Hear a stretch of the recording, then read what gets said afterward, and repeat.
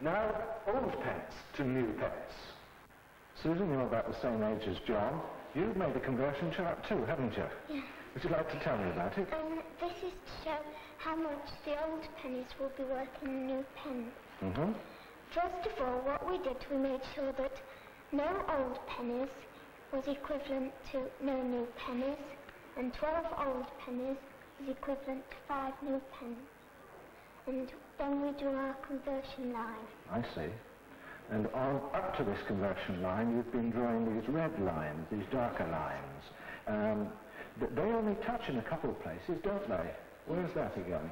Um, six old pennies touches two and a half new pence, and 12 old pennies touches five new pence. Mm-hmm.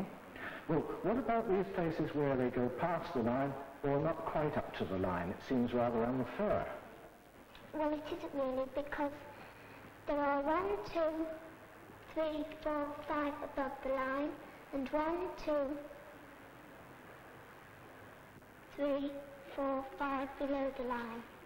So, one lot rubs out the other lot, really? Mm. Yes. Who decided that? Do you know? The government. I see. And what you've got up here, you've also got down here in a different form, haven't you?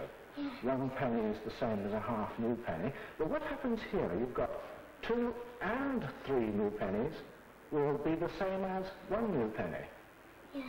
Does that happen anywhere else?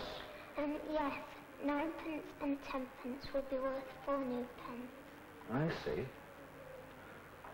Thank you very much, Susan. Thank you.